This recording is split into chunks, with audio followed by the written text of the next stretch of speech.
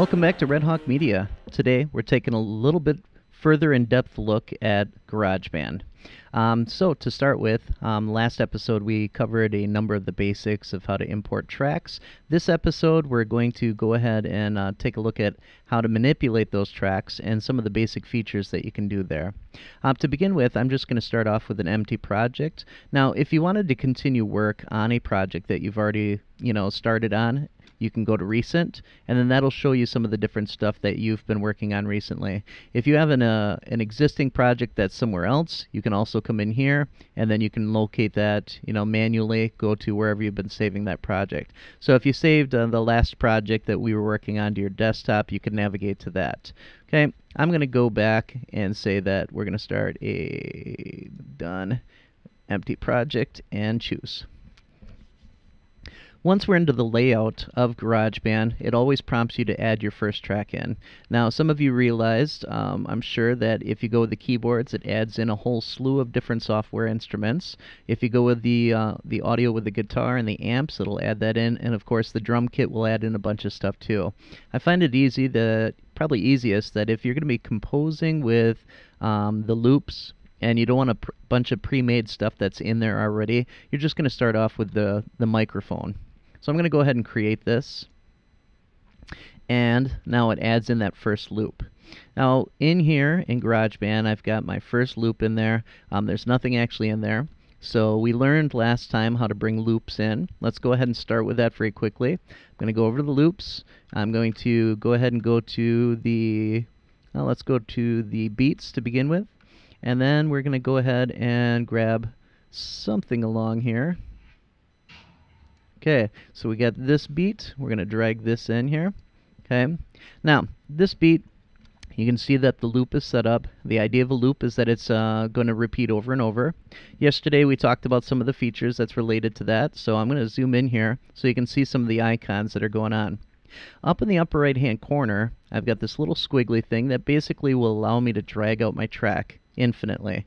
I don't recommend that because it eats up a lot of processing power and it's going to slow things down in GarageBand quite a bit. But stretch it out a little bit at a time as you need to, um, as you're adding onto your song. So this beat will just keep playing over and over and over and over. Now, on the other hand, let's say that we're not going to take that and extend it out. We're going to actually shorten the clip.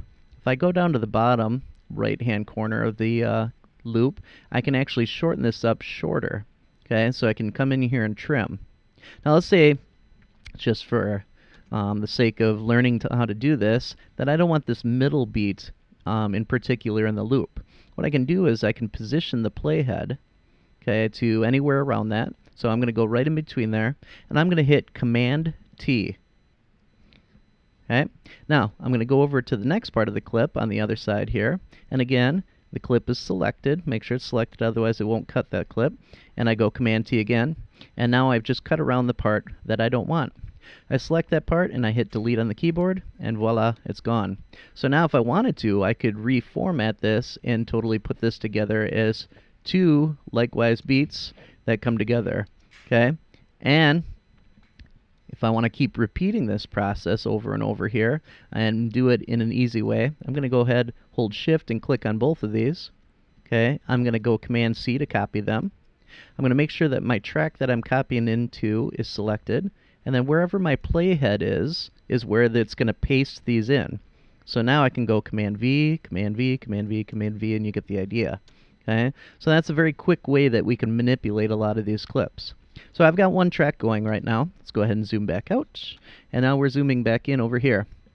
Now, if I want to um, find a new uh, instrument or mood or genre of music, I have to click reset, and then that resets all my options here. And now I can come in and I can grab something else. Let's say, uh, let's say we're going to use the banjo. All right, I'm going to go ahead and grab down home banjo. I'm going to zoom back out here, and then I'm going to take this and drag it into my workspace. Let's go ahead and zoom out the rest of the way and drag that over here. And now I can start to line this up.